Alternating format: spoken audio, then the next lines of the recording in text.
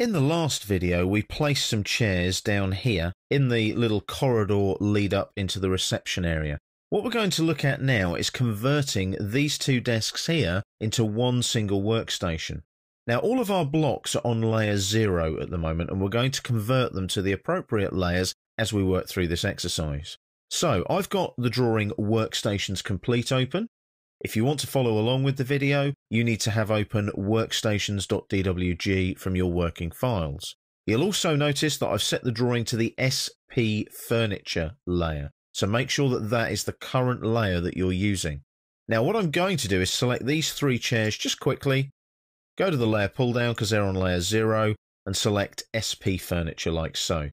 Now you will notice that the layer list went off the screen there. That's because we've got a lot of layers now and I don't have a lot of screen real estate.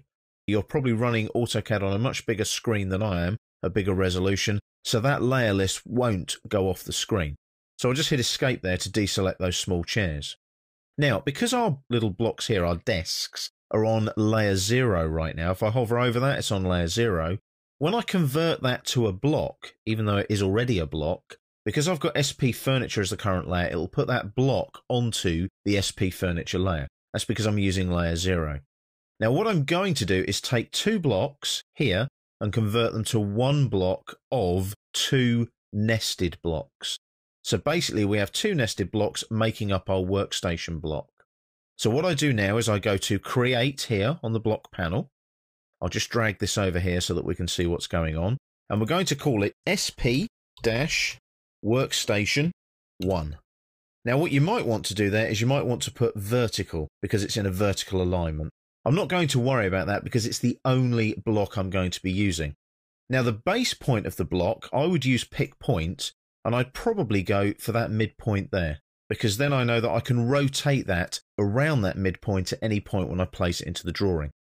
So there's no way I could have calculated those X and Y values.